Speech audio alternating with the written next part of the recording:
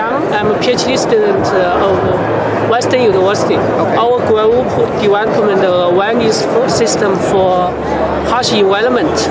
So the redundant and uh, diversified wireless detector get uh, up-to-date information from, from the environment and then transferred to a gateway and then transferred to the uh, monitor device. Okay.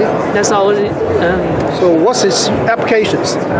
Application. um, usually we our our system will be used in harsh environment, like harsh environment, like uh, high temperature, high radiation condition, uh, underwater, something like that. So the system has, has a high reliability, high uh, reliable.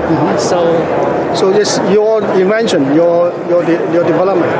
So, so you invent this, you develop this system, uh, our group, your group. yes, Okay. Is the first in the world have this kind of.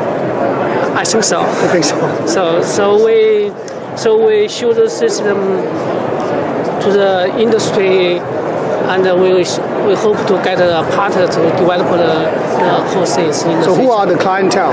Who will buy it? I have no idea. So that's why we are we are here.